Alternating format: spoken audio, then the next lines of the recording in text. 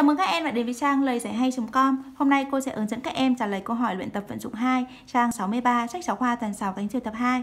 Câu hỏi ở luyện tập vận dụng 2 có nội dung như sau. Trong không khí, ánh sáng chuyển động với vận tốc khoảng 300.000 km trên giây, còn âm thanh lan truyền với vận tốc khoảng 343,2 m trên giây.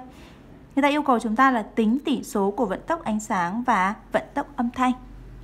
Vậy thì để tính được tỷ số vận tốc ánh sáng và vận tốc âm thanh thì hai đại lượng này phải có cùng đơn vị đo. Vậy thì quan sát lên đề bài ta thấy rằng là ánh sáng thì chuyển động với vận tốc là 300.000 km trên giây.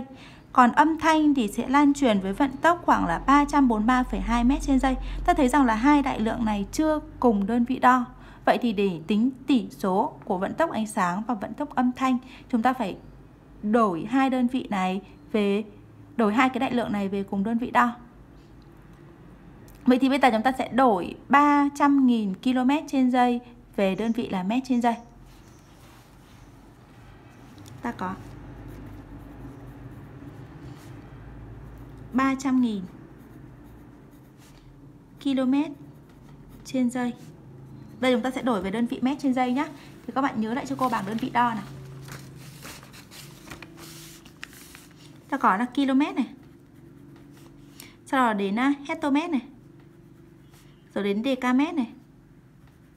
Rồi cuối cùng là đến mét, đúng không? Như vậy là từ mét mà km ra km thì hơn kém nhau 1.000 lần. 1 km thì chính bằng 1.000 mét. Vậy thì để đổi 300.000 km trên giây về đơn vị là mét trên giây thì chúng ta phải lấy 300.000 này nhân với lại 1.000 Màu 1000 này thì có 3 chữ số 0 đằng sau. Vậy thì chúng ta chỉ việc viết lại số 300.000 và thêm 3 dấu 0 đằng sau cho cô. Viết lại số 300.000 này. Sau đó chúng ta viết thêm 3 dấu 0 đằng sau. Thì sẽ được ra đơn vị là mét trên giây.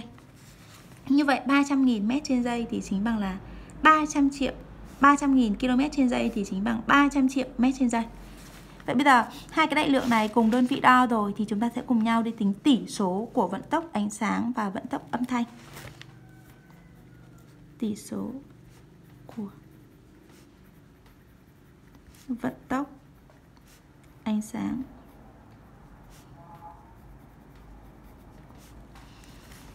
và vận tốc âm thanh. Là. Chúng ta sẽ lấy vận tốc của ánh sáng là 300 triệu.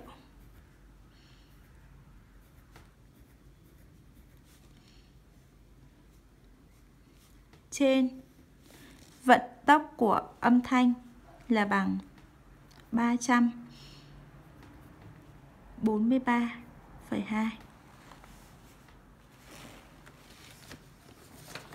Như vậy tỷ số vận tốc ánh sáng và vận tốc âm thanh chính là 300 triệu phần 343,2. Như vậy là cô đã vừa hướng dẫn các em hoàn thành xong câu hỏi luyện tập vận dụng số 2 trang 63 sách giáo khoa tuần 6 cánh trường tập 2. Các em hãy truy cập vào trang lời giải hay.com để xem chi tiết các bài giảng khác. Chúc các em học tốt và hẹn gặp lại các em vào các video bài giảng tiếp theo.